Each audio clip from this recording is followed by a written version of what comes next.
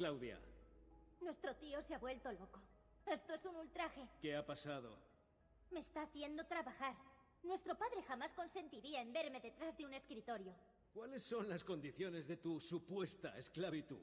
Puesto que alguien ha decidido que nos quedamos, Mario ha pensado que debemos encontrar dinero para arreglar la villa. El problema es que no lo hay. Seguro que puedo traer algo de dinero. Genial. Más trabajo para mí. Vale, benísimo.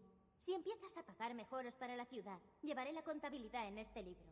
Y ya que no tengo nada mejor que hacer, también apuntaré los objetos que traigas del exterior. Si consigues que este lugar mejore y progrese, los viajeros lo visitarán y se gastarán dinero en él, aunque dudo que alguien quiera alejarse tanto de la ciudad. Pero si vienen, el dinero que ganemos lo guardaré en este cofre. Cuando el cofre esté lleno, tendrás que venir a llevarte el dinero al banco, o de lo contrario, me quedaré todo el dinero extra para mí. ¿Capito? Capisco.